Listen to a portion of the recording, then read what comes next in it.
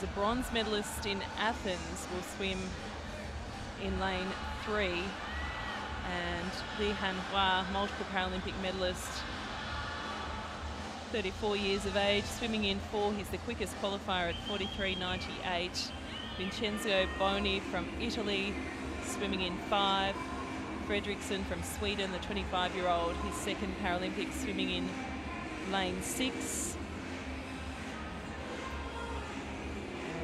See the Chinese athlete Li Hanhua, 34-year-old, just waiting to enter the pool. Beside him on his left-hand side is Kostakis, and further up, you can see at the top of your screen, is Alberto Abarza from Chile. Slower qualifying time, 104.23. Let's see what he can manage here. So this is the S3 classification. World record mark is 42.60, set eight years ago at the Beijing 2008 Paralympic Games.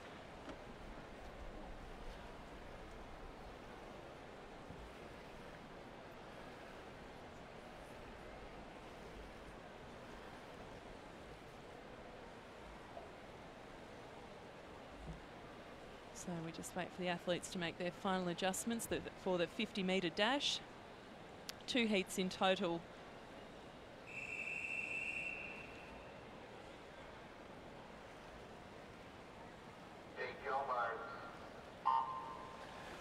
So we have 11 athletes contesting eight spots in the final later on day three. And Fredriksson is yet to break water. He had a deep dive start, but at the moment he's just ever so slightly in front of Vincenzo Boni from Italy, who's off to a fantastic start in this race. And his opening up a lead here is almost a full body length in front of Fredriksson from Sweden. So it looks as though it's going to be Boni all the way. An easy qualification for him, showing his intention for the final later on day six.